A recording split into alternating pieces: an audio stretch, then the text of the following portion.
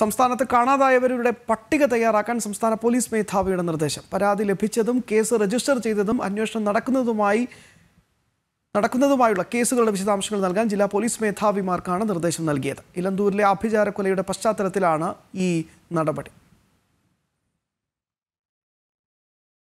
സംസ്ഥാനത്തെ പോലീസ് സ്റ്റേഷനുകളിൽ രജിസ്റ്റർ ചെയ്ത കാണാതായവരെ സംബന്ധിച്ച കേസുകളിൽ അന്വേഷണം ഊർജിതമാക്കാനാണ് സംസ്ഥാന പോലീസ് മേധാവിയുടെ നിർദ്ദേശം. പത്തനംതിട്ട ഇലന്തൂരിലുണ്ടായ ആഭിചാരക്കൊലയുടെ പശ്ചാത്തലത്തിലാണ് നടപടി. കാണാനില്ലാത്ത കേസുകളിൽ പരാതി ലഭിച്ച ശേഷം കൈക്കൊണ്ട നടപടികൾ. അതാത് സ്റ്റേഷൻ ഹൗസ് ഓഫീസർമാർ മേലുദ്യോഗസ്ഥർക്ക് കൈമാറണം.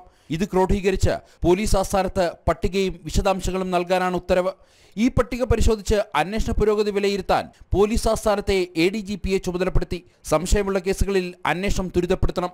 C C T V mobile tower എന്നിവ കേന്ദ്രീകരിച്ച് ശാസ്ത്രീയ അന്വേഷണത്തിനാണ് പോലീസ് മുതിരുന്നത്. ആഭിചാരക്രിയക്കായി കൂടുതൽ കൊലപാതകങ്ങൾ നടക്കുവാനുള്ള സാധ്യത പോലീസ് തള്ളിക്കളയുന്നില്ല. രണ്ട് സ്ത്രീകളാണ് ഇപ്പോൾ രണ്ട് സ്ത്രീകളാണ് പറഞ്ഞിരിക്കുന്നത്. ഒരു പത്മ റോസ്ലി. ഇങ്ങനെ രണ്ട് സ്ത്രീകളാണ്. ഈ കൂടുതൽ വിവരങ്ങൾ നമ്മൾ കൂടുതൽ അന്വേഷിക്കേണ്ടി വരും. ഇങ്ങനെ എന്തെങ്കിലും ഇനി ആരെങ്കിലും ഉണ്ടോ എന്നുള്ളത് അന്വേഷിക്കേണ്ടി വരും. അപ്പൊ ഇപ്പൊ ഈ സാഹചര്യത്തിൽ അന്വേഷണം ഊർജിതമാക്കാനാണ് സംസ്ഥാന പോലീസ് മേധാവി നിർദ്ദേശിച്ചത്.